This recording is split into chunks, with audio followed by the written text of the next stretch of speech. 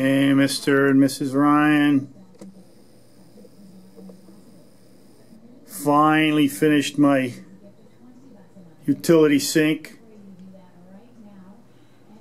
Tyson can't wait to use it.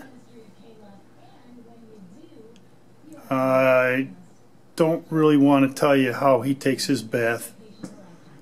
But from now on, it's going to be in high style. And I won't have to break my back because, see my elbows right there?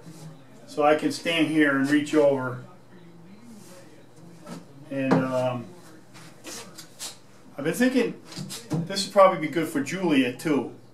Could put her on her belly right here with her butt right there. Turn on the water, blast away. I'm sure her mom would be okay with that.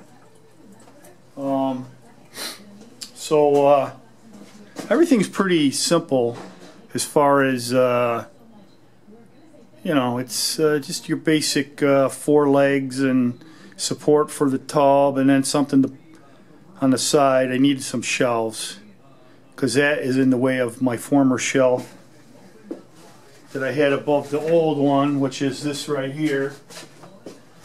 I'll use this for something else. But, um,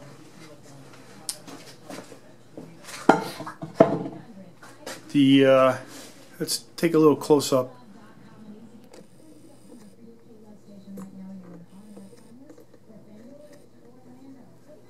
The, the faucet is, this is what was on the old one.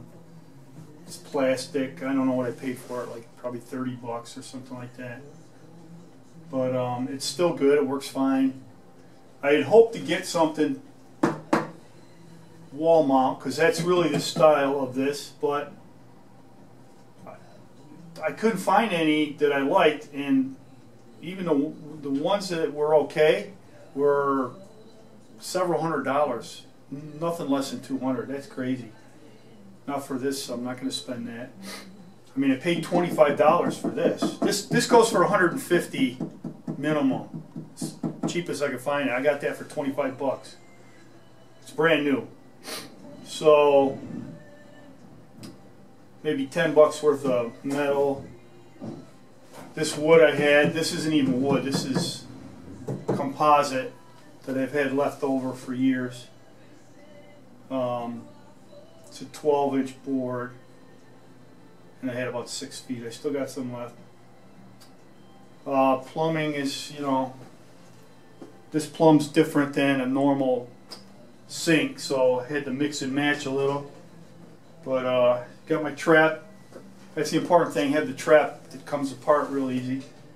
Um, again, this is. I wanted one lever, you know, but I'm gonna have, I'm gonna keep looking for one lever. So uh, eventually I'll find something. But this'll this'll let this'll do exactly what it needs to do. And uh, notice the sun's going coming out here.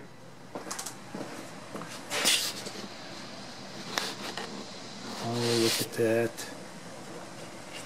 While we're at it, why don't we take a look at uh, the Pike, take a look at the Pike Ranch.